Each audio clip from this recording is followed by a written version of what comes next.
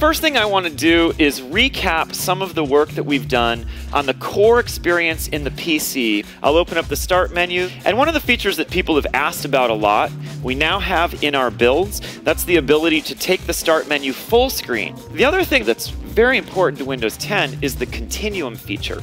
And Continuum is about enabling a two-in-one device like this, which I've been using like a laptop. But when I remove the mouse and keyboard, you'll see we get a little pop-up here. Do you want to enter tablet mode? I'll choose that, and now my windows are full screen. And I can use this in a very natural way like a tablet. Cortana, we're excited to welcome you to the PC. Down here on the taskbar, you'll see Cortana has a home.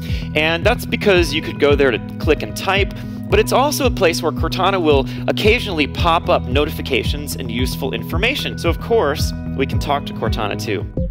Today, I'm excited to introduce you to uh, codename Project Spartan, our new web browsing experience for Windows 10. First, it has a new rendering engine under the covers that's built to be compatible with how the web is written today. It has a new look and feel, and it, go, it goes cross device.